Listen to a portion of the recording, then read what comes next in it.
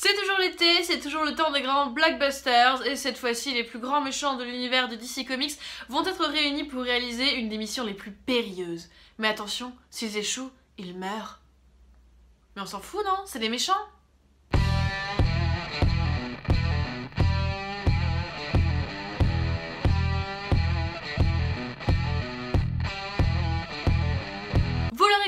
Aujourd'hui on va parler de Suicide Squad, un des premiers films de super vilains tiré d'une série de comics sortie en 1987.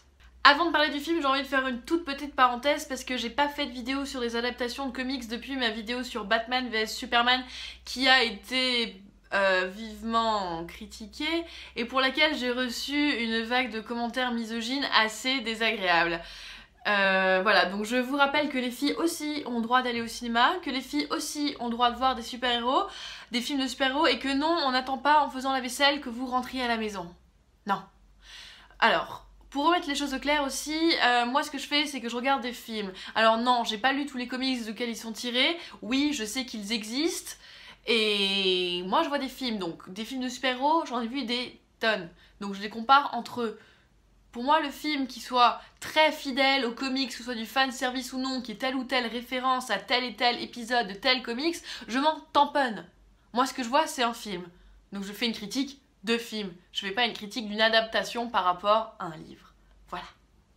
Mais pour remettre les choses dans leur contexte, je suis obligée quand même de signaler que Suicide Squad est tiré d'un comics de DC Comics, que tous les personnages qui sont présents sont bien des personnages de DC Comics, et que le pitch lui-même est assez fidèle à la série. Moi, ce que j'ai vu, c'est qu'on nous a présenté une bande de super méchants. Une bande. Alors, on l'a, la bande. Mais il s'avère que le scénario va se concentrer presque euh, exclusivement sur deux personnages de la bande, Harley Quinn et Deadshot. Les héros dans le film, ce sont des méchants, et donc pour qu'on puisse s'identifier à eux, va falloir leur donner quand même quelques faiblesses. Donc on leur a construit une psychologie à grosse ficelle, en les humanisant énormément, et ça je dois dire que c'est d'emblée le point qui m'a le plus dérangé dans le film. Parce que Deadshot est un papa poule, euh, et Harley Quinn est une amoureuse euh, totale, ce qui sont deux traits de caractère qui normalement sont complètement euh, incompatibles avec les psychopathes et les sociopathes, sinon ils ne seraient pas des psychopathes et des sociopathes s'ils avaient des sentiments. Les autres personnages de l'aventure sont un peu mis au second plan et ils arrivent parfois un peu comme des cheveux sur la soupe quand ils interviennent. Et là, je pense notamment au personnage de Katana, qui était souvent assez malvenu d'ailleurs. À la base, on les emmène dans une mission suicide qui est normalement trop dangereuse pour les agents du gouvernement, mais il s'avère que le plus gros problème va venir de leur groupe eux-mêmes, parce qu'à l'intérieur du groupe, il y a un des super vilains qui s'appelle l'Enchantresse, qui va n'en faire qu'à sa tête, et finalement, c'est elle qui va causer le plus de problèmes dans le film. Pour jouer tout ce beau monde, on retiendra surtout Margot Robbie, Will Smith et Viola Davis.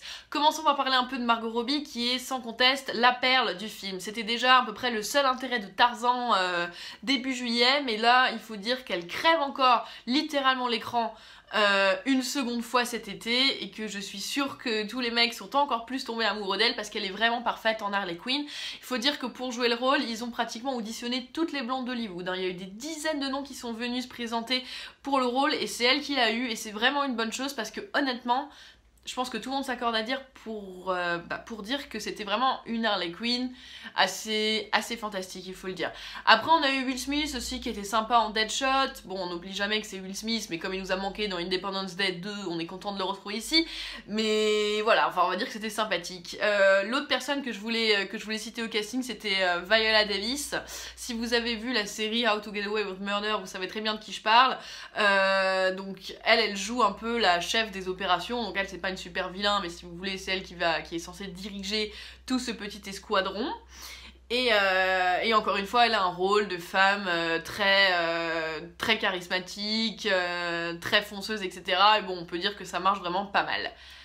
Et parlons maintenant de ce qui fâche, parlons un peu du Joker. Ah oui, quid du Joker?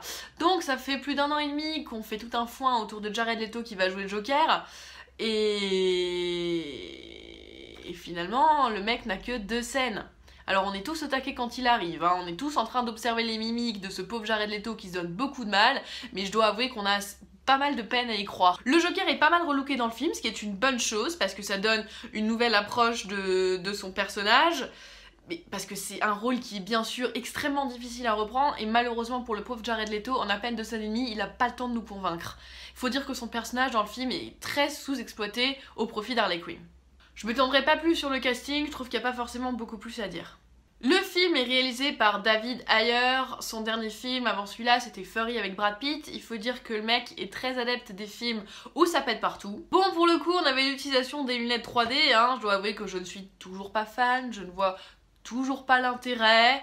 Bon, en plus, dans ce film, c'est, je trouve que l'utilisation est encore plus bizarre parce qu'on sait très bien que. Enfin, tout le film se déroule de nuit, on sait très bien que la nuit ça assombrit la 3D donc. Euh, euh, on voit pas trop, enfin, je vois pas trop l'intérêt à part vendre des lunettes et des places plus chères.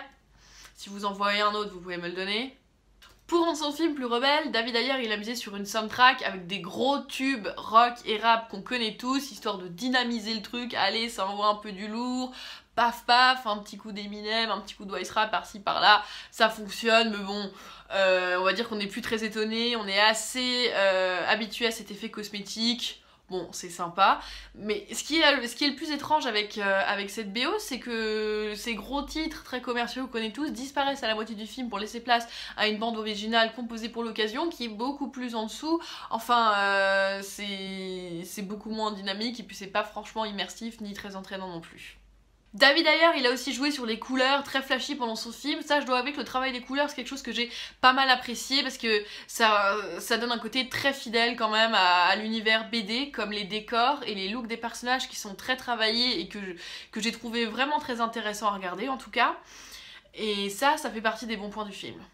Après, bon, bien sûr, je reste quand même une grosse blasée des blockbusters. Moi, j'aurais voulu être un peu plus bousculée par ce film qui m'emmène un peu plus loin. Après tout, c'est quand même un film sur des méchants très méchants, mais là, ils sont pas vraiment méchants. Au contraire, on leur donne des traits gentils pour qu'on puisse s'attacher à eux, pour que ça reste bien PG-13 et qu'on puisse tous emmener les gamins voir ce film. Et franchement, franchement, c'est dommage parce qu'on aurait pu aller beaucoup plus loin avec de tels personnages quand même. On a quand même une bande de psychopathes qui se baladent pour aller aider le gouvernement. Enfin voilà, il y avait des choses intéressantes dans le film. Cette idée, euh, cette idée de attention, vous avez un à vous tenir à carreau, sinon on vous brûle la cervelle, c'était pas mal.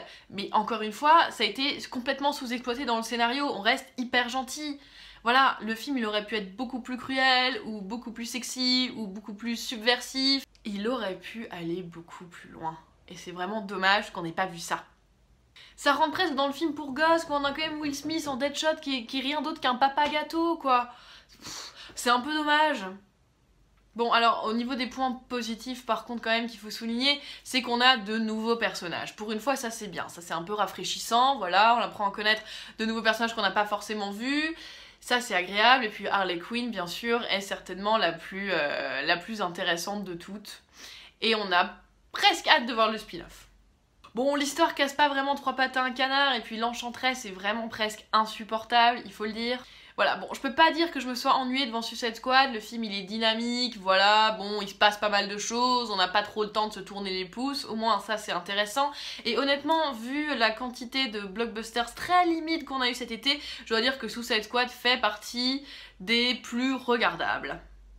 Alors certes, moi j'aurais voulu que ça aille un peu plus loin, qu'il y ait un côté qui est vraiment le côté des méchants, euh, que ce côté méchant soit beaucoup plus, soit beaucoup plus développé parce que bon après on n'a pas de héros dans le film pour contraster donc forcément les méchants deviennent les héros, mais quand même on aurait pu y aller un peu plus loin quoi. Il y avait tellement matière.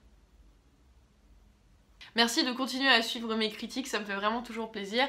N'hésitez pas à vous abonner et aussi à lire les critiques que j'écris sur mon Tumblr Perle ou Navet, il y a l'adresse dans la barre d'infos. Voilà, je vous fais des bisous et à bientôt.